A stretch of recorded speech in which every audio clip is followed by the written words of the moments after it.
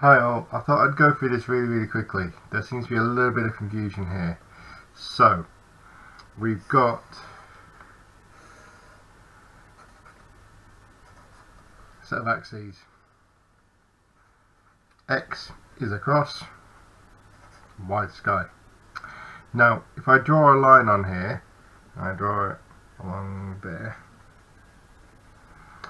you know that point there is 3, then all of the points along here so that could be 1 3 could be 2 3 3 3 could be minus 1 3 every one of these points has got the y coordinate so x y y is 3 x y y is 3 x y y is 3, x, y, y is 3. So this line here, y, always equals 3. Okay? And that is the important thing on this. So y equals 3, so it's the y coordinate that always equals 3. So it crosses the y axis at 3, but it actually is in line with the x. Okay?